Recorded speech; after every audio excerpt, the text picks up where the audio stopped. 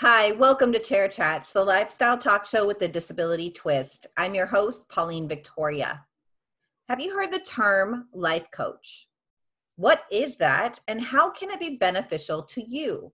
On this episode, we're going to interview Liz Venendaal, a life coach who tells us more about what it's like to be a life coach and how she impacts her clients.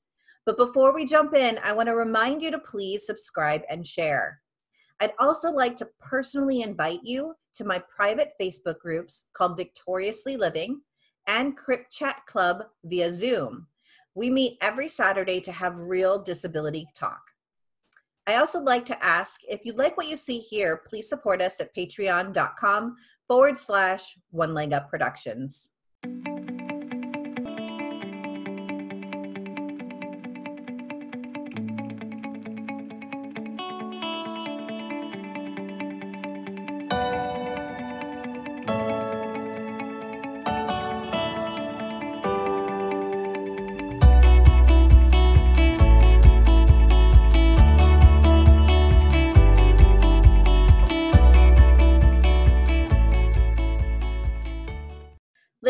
So much for joining us on Chair Chats today. I'm really excited because you're a life coach. We're going to mm-hmm. talk about everything about life coaches. Um, and I think it's important to understand what that term is and how it can benefit people, especially people with disabilities. So, before we jump into that, I want to give us an opportunity to get to know you a little bit more. So if you can just share with our audience who who are you well thank you so much pauline i'm so excited to be here um, for chair chats I, I just appreciate the opportunity to chat with you and your community. Um, so I'd love to share a little bit about myself. My name is Liz Venendaal. I live on Long Island in New York with my husband and three awesome kids. Um, my son is eight, and then I have twin daughters that are five. Um, so, first and foremost, I'm a mom. but um, I entered into the coaching field because I just kept hearing from other people that that I was their life coach. and prior to becoming a mom, I did work in the mental health community in my local county, and that was something that I really enjoyed just supporting other people. And since becoming a mom, I, I just wanted to find a way that I could continue to do that and also be there for my kids and give them the attention that they deserve. Um, so that felt like the right fit for me. I always laugh because I have cerebral palsy and my coaching work is done pr- fully remote so it's online or over the phone. And when i entered the coaching field i was not thinking that um, that was going to be my niche. I didn't really know what my niche was going to be. Um, and just going through the training process and a process of self-discovery i ultimately came through that training and just knew that i wanted to connect with other people with disabilities such as myself. So it, I, it makes me smirk because it's the first time in my life where I could sit here and chat with you. And if I didn't want to disclose my disability, no one would ever know. Right. um, I could, but I, I chose to do that and really put that piece of me at the forefront. And I'm so glad that I did. Can you explain life coach versus therapist or counselor? Absolutely. Um, so life coaching is not about um, giving advice to another person. It's it's really about connecting with another human being and helping them discover those answers for themselves. And the way that a coach does that is through just really listening, connecting, and asking questions. Um, so, you know, for me as a coach, I just believe that my clients their path. They just might need some clarity in that. They just might need some time to have a dialogue and to, you know, talk through some roadblocks or challenges that they're going through. But I know that they know the answer. They know themselves better than anybody else. So they'll get there. Um, it's just the coaching process that allows them to do that. So that's really the distinction is that um, my clients, they're in the driver's seat. They're they're creating that path and i'm just supporting them along the way and and helping to ask the questions that will give them clarity in in their next move So just a distinction who a life coach is not for is someone who just wants someone to give them the answer. Right. So when in for individuals who, you know, may need advice, may be really want suggestions, may really need a greater level of support um, you know, through therapy and counseling. You know, a lot of people do have counseling and also coaching. It's just a it's just a completely different scope. Um, so that would be the main distinction is it's not therapy when you ask someone a question and they're like i don't know you know and, and that's not necessarily true I, I i love the philosophy of life coaching because you you approach it as if you already know the answer you just have to have someone ask you the right questions because the quality of our life is based on the quality of questions that we we ask ourselves so um, sometimes it's hard for us when I love um, Les Brown. He's a motivational speaker, and he says it's hard to see the picture when you're in the frame. So mm-hmm. when I'm in my life and I'm doing my life, and I'm a mom, and I'm an entrepreneur, and I'm a wife, and all of it, you yeah. know, it's it's really hard to to stop and reflect and be like, wait, what do I want? What do I need? And a life coach helps bounce that back off of off of you absolutely absolutely and and just the value in really listening um, there's something to be said for that because people just want to be heard um, they just really want to be understood and to have someone really just be intentional about connecting and listening. Um, it is incredible and really life changing for a lot of people. Yeah. So you serve primarily clients with disabilities. Yes. um, what benefits have you seen from helping or giving the life coaching services to people with disabilities? Mm-hmm. you know when i i developed my niche and i decided that that was the client those were the clients that i really wanted to connect with. Um, i didn't really know much more than that at the time. I just knew that those were my people. And um, in having the opportunity to coach, and connect with clients, the underlying theme that I have noticed among many of my clients is just being able to gain clarity and make the distinction between their limitations caused by their disability. And the reality of that i'm all about just keeping it real and being honest and you know it's not something we need to gloss over. It's there and it certainly impacts other areas of life and that's just the truth. But that's not the full story. And so, for people to really understand that perhaps some of their thoughts are inaccurate and really limiting themselves. So, those self limiting beliefs come into play. Um, just the stigma of disability that maybe has been internalized over a number of years or through different experiences, and really being able to separate that and say, okay, what what is holding you back and what are your limitations and what is in your control and what are your strengths and just being able to really grasp that allows clients to just see a whole new world in a new light and to understand that their goals and aspirations are well within their reach. It's just a matter of the path that they want to take to get there. Could you give us an example of like a tangible example of what that might look like? Because I hear the words, but um, sometimes it's hard to personalize it. Helping them understand um, what experiences they've had and what can be changed about that. Um, I know that often clients, and I've had this experience myself as well, you know, just walking in the door, rolling in the door, or however you're getting there, immediately um, just that bit of surprise and you're when you're going for a job, you're going to provide a service you're going you're going there because you're saying i'm an asset. I have a strength that i can bring to this company or organization. And for a lot of people with disabilities and a number of my clients in particular um, that has it's been a barrier to get past that per- initial perception um, and really just be understood and heard um, as someone who has something to offer. So um, that's that's something that I've helped a number of clients with, and the way that we've done that is to just really go through the experience, um, as they would like it to be delivered. And what what would you like to see happen and what would be different for you if this did happen? And a lot of that comes down to just confidence building um, really preparing yourself for if those certain reactions happen how can you mediate that? How you how can you prepare your emotional reaction for that? Um, how can you communicate your strengths in an effective way? Um, and just really pumping people up and just a lot of empowerment comes into it. Just saying okay i get that. I've experienced that myself and that's i hear what you're saying but we can get through this because you do have strengths you do have skills. And if you go into that position with a positive attitude and a, a good mental state it, it's just so it makes the world of difference.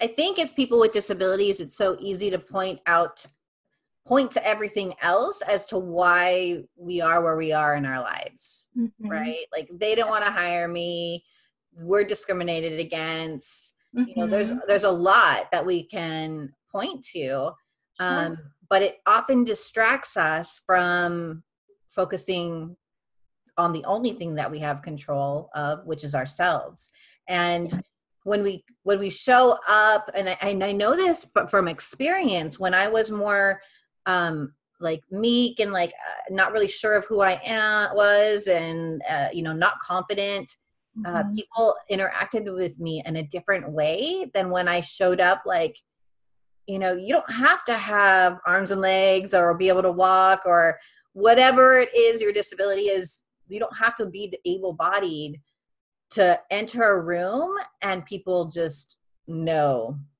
wow, that's a good, mm-hmm. that's a good energy right there. And yeah. the way they enter, the way they play with that energy is so different from the way they play with the other um, lower vibrational energy that that happens. Oh completely completely. And i agree with what you're saying and and that there is so much of th- that is a very strong narrative amongst the disability community. It is just the reality of the adversity that we face in different areas of life. And, and it's real and it's there. And but we as people need to know that our disabilities are what they are and that that's a fact. But everything else everything else in our world in our life in our day is within our control. Um so it's just you know what like you said what energy are we putting out there? What what are we portraying to other people about who we are? Yeah. um because if we have a positive attitude and go into things with a smile and just feeling prepared and confident in what we're doing no matter what it is whether you're looking you know going for a job or interacting with people at the grocery store and even perhaps needing needing a hand with something you know just knowing that that's okay. Everybody everybody needs support. Everybody needs a helping hand now and again. And and needing that as somebody with a disability is no different Right, right. And I feel like, you know, it's like if you own it, like you yes. own who you are, all of it, who you are, disability and all the other beautiful layers that make up you. Um, when you, because your comfort level is almost going to dictate their comfort level with you. And I've been to job interviews where it's like I can see that they have questions and, but they're afraid the legalities of having to address these questions that are real questions like how are you going to file? How mm-hmm. are you how are you going to work with this?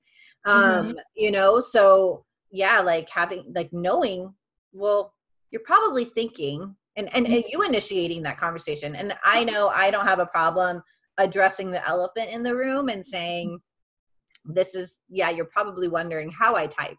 Mm-hmm. let me let me let me put your worries to ease for a second. Right yeah. Um, and so owning yourself is is a huge part of that. Okay i want to back up. Life coaching is not necessarily cheap right? It does take some investment. Sure. And the narrative that often we can have is like oh that's too expensive. I don't you know i can't mm-hmm. afford that.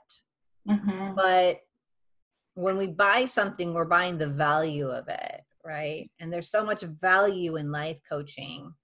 Um, what would you say to someone who would consider a life coach, like they're like oh that's what i need. I need a life coach. I don't need the therapist. I don't need the counselor. I want to start now like in the present and how do i move forward to the next level?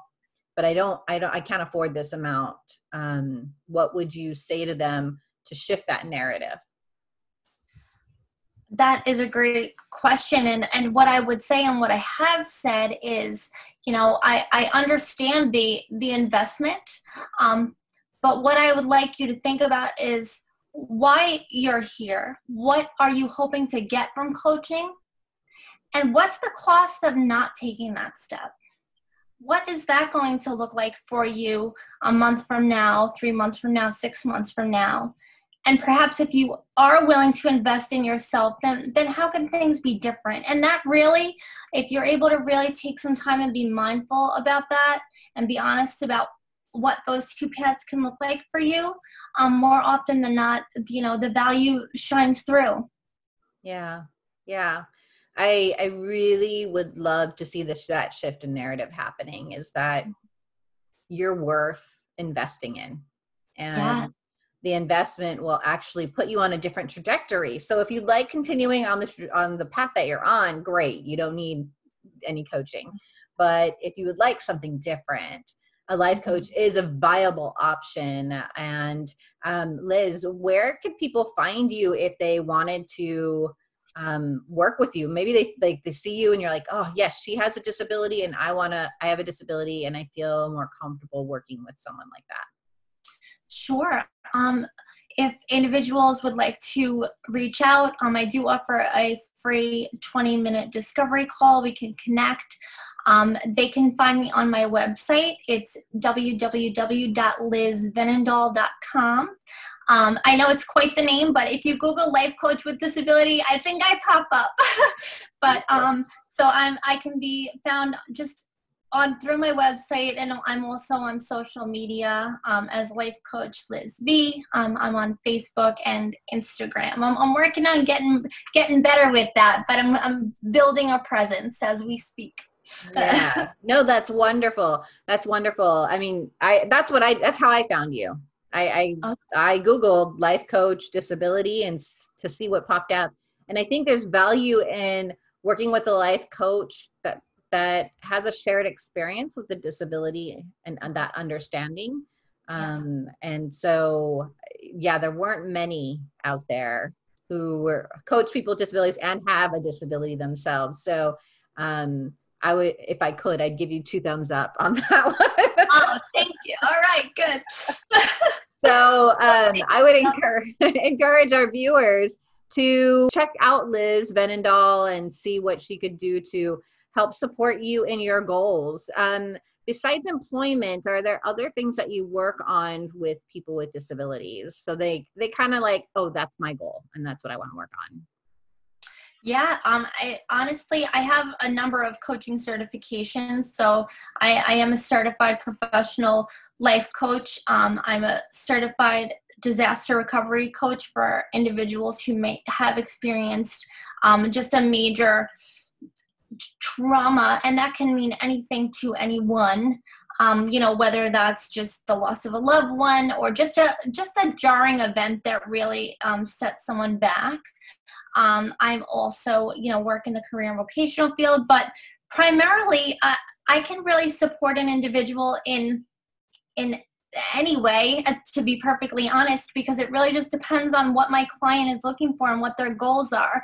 Um, I've had clients who are looking to find a relationship and, and find companionship. I've had clients who come to me and they're just don't have a level of satisfaction in their life and they don't know where to turn next. Um, and for you know individuals like that, I, I have tools and strategies um, that I'd love to work with clients on to just kind of present that that clarity um, as to where they are in the main areas of their life and and kind of see what makes most sense for them. Um, so I, I do you know have the certifications and I do have the experience and there really is nothing just from human being to human being and from my coaching experience I, I could help many people in, in many areas of life yeah. And what um how long does someone normally work with you? How what what are your packages like? Um, typically, because coaching is goal oriented, it doesn't happen overnight. Um, so to really be able to see that growth and change, that typically needs about 90 days. So the a three month package. Um, I do offer a one month package for individuals who, you know, want to invest their time but aren't so sure um, about signing on for the three. And and more often than not clients who you know go with the one month end up just staying on with me um, for months to follow. But i have a one month a three month a six month package. Wow and I, and I do also offer just a, a single individual session but that's um, often for clients who i've had that just want to touch base on one more thing or just have that follow up contact with me. Mm-hmm. Yes. Liz, you mentioned that as a life coach, you get to work from home, you get to be with your your kiddos, you um, it just offers a little bit more flexibility as somebody with a disability, which could be very appealing to other people with disabilities. So, if somebody was considering wanting to become a life coach, what qualifications would you say are important to have in terms of being a life coach and where could they start that process? I would say the qualifications are just to have the heart for that to connect with other people and to want to support other people. Um, and i really do find that often individuals with disabilities make amazing life coaches just because we all in our disabilities that that means something different for each and every one of us no matter if we have the same condition or not. It's so unique to each of us and we see the world through a unique lens. And having overcome adversities ourselves and being adaptable and facing challenges that's something that is really an asset and such a strength um, for individuals who want to support other people and help other people overcome the challenges in their life. I mean what's better than having a coach that's really, you know, they're walking the walk and talking the talk. I'm not just saying you can do it. I'm saying you can do it because I believe it in every sense of the word because I've overcome challenges and if I can do it, you can do it too. So um, that really is the first piece that needs to be there is just to have the heart and the desire um, and I am fortunate to be the director of Fowler International Academy of Professional Coaching's We Live Without Limits division. Um, and that division is really dedicated to training coaches um, who have overcome adversity, who are looking to really flip the script on the narrative towards people with limitations and say, you know, we are a community that may need support, but we also have so much support to give. Um, so through We Live Without Limits, um, I have the privilege of training coaches um, and just being their point of contact and, you know, perhaps offering a little coaching in the process. And it's just so joyful to see people really find purpose in their pain and purpose in what um, has held them back in different areas of life and to use that to fuel themselves forward and help other people do the same. Yeah. It's this beautiful circle, right? And yeah. um you know, as a life coach, you don't have to have it all together. Like we were talking earlier, it, as life coaches, we often have life coaches. yes, absolutely. Absolutely. It's like, and I remember thinking to myself, even just when I had this idea, like, you know, this really feels right to me. I think I should be a life coach. And then I thought, who do I think I am becoming a life coach? And you know, through the training process, I just gained the the insight and understanding that I don't need to have all the answers. I just need to have the heart and the knowledge to ask the right questions for my clients and to really listen. Um, actively listen and be there for them. And so, I mean, I'm a life coach and I have a life coach, and I you know, as a master trainer who trains many, many coaches from all over the world through all walks of life, I can tell you that disability or not, that's a common that's a common feeling of just not having it together and not knowing um feeling like you're ill equipped to be in that role and I'm telling you, as among people with disabilities, I think that we are uniquely well equipped to be in that role. Yes, absolutely. Imposter syndrome. That's like the term for that. You don't feel like you feel like who am I to help? Like I mm-hmm. I'm a mess and who am I to help the next person? But it, you know, in a way us being in our mess can actually make us a more effective coach because it allows us to be empathic to that person, that client that we're talking to, to be able to say, I totally know what you're going through. I've yes. been there, done that, and it sucked.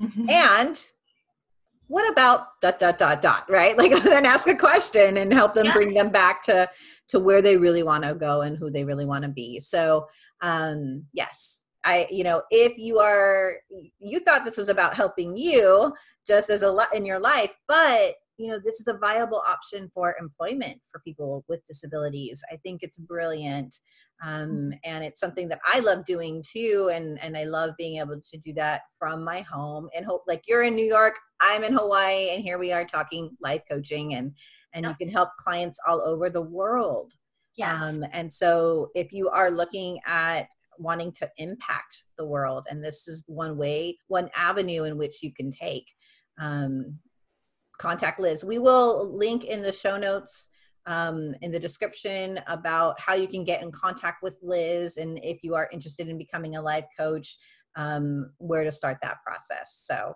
thank you so much, Liz. Oh, you're so welcome. Thank you for having me. I so appreciate you sharing what you do, the benefits of of life coaching which you know in what we've just spoken about in this short time i feel like is clarity and confidence mm-hmm. and yes. that is so important so if you are watching this i want to again encourage you to consider consider having a life coach and if you feel like liz could be the one that's amazing um, but you know we all need help sometimes and it's okay. To ask for the help and then know that you're worthy of that help know that you're worthy of that investment mm-hmm. um it it will it could literally change your life so i want to ask you the viewer i want to ask ask you to comment below what area of life would you like to level up let us know in the comments below. And I want to remind you to please subscribe and share, and personally invite you to our Facebook groups called Victoriously Living and Crip Chat Club via Zoom, where we meet every Saturday for Disability Community Real Talk. I also want to ask if you like what you see here, please support us at patreon.com forward slash one leg up productions. Thank you so much for tuning in. And until we meet again, be blessed.